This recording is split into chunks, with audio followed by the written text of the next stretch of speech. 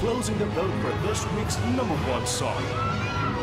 Three, two, one. Time's up. 네, 2014년의 엠카운트 다운 마지막 트로피의 주인공은 누가 될까요? 최종 결과 보여주세요. 오늘의 최종 결과 먼저 음원 판매 점수입니다.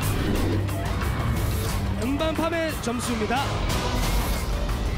선호도 점수입니다. 소셜 미디어 점수입니다. 엠넷 방송 점수입니다.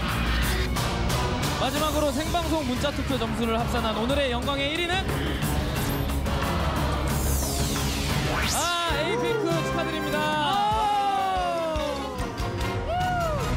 네, 정말 갓세븐인 줄 알았는데 아니네요. 예, 예. 네, 이 트로피는 에이핑크 분들께 어, 저희가 잘 전달해 드리도록 하고요.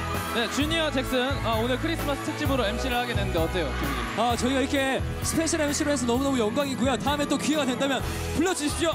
네, 다음에는 제발 좀 고정 시- 시켜줬으면 좋겠습니다. 네.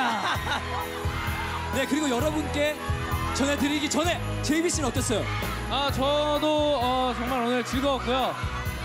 열심히 했습니다. 네, 이제 여- 전해드릴게요. 여러분께 전해드릴 마지막 선물.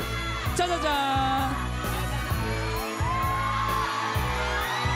네, 마지막까지 우리 갓세븐 산타가 선물을 나눠드리면서 크리스마스 파티 마무리하겠습니다. Yes! 자, 그럼 저희는 신나는 캐럴과 함께 인사드릴게요. 여러분, Merry Christmas!